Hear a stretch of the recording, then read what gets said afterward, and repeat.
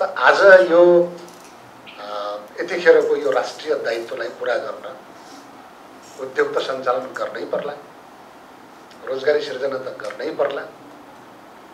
हिजो कोभिड हुँदाखेरि मुलुक बाहिर रहेका नेपालीहरू पनि स्वदेश फर्के। कोभिड सकिएपछि विदेश फर्के विदेश फर्किँदा अलिक बढी फर्के।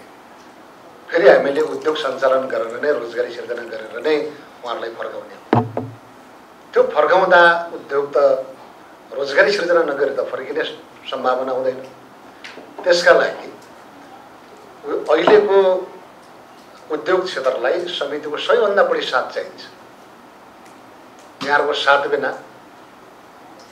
तपाईँ हाम्रो साथ बिना अगाडि त बढ्दैन त्यसैले अझ यसका मैले अहिले पनि यो मन्त्रालयको ग्राफ हेर्ने हो भने अहिले पनि यसको कार्यक्षेत्र पनि हेर्ने हो भने यो साँच्चीकै ओझेलमा परेको छ खास गरी नीतिगत प्रश्न नीतिगत रूपमा जे चिजको माग गरेको छ यो मन्त्रालयले त्यो चिज अहिले पनि प्राप्त गर्न सकेन त्यसैले नीतिगत सुधारका पक्षहरूलाई अहिले मन्त्रालयले विशेष महत्त्वको साथमा सुधारको प्रयास गरेको छ पछिल्लो लगानी सम्मेलन लगानी सम्मेलन सहजीकरणका लागि आवश्यक ऐन संसदमा यहाँहरूले पनि संशोधन प्रस्तावसम्म राख्नुभयो।